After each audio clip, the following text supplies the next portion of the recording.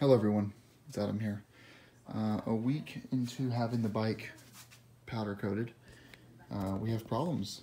And uh, I think that the guy will stand by his work. He told me he would, but um, this is all dirt, but this is not. This is chipping. If I touch it, it's gonna get worse, but this is chipping uh, from heat here. Now some of these uh, are maybe rock chips, that's okay. I expected some rock chips, especially the forward facing headers. But let's um, make our way down here. This is an example where I touched it. And then this is more bubbling, and then more there. Now look at the catalytic converter.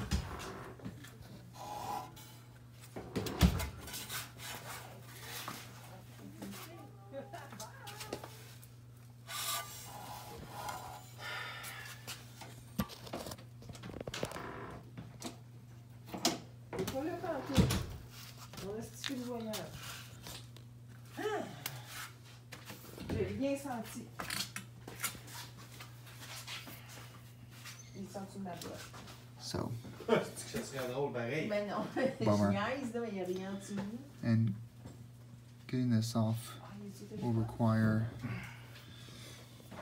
this and this and this and this and that and C'est this and this and these and these two.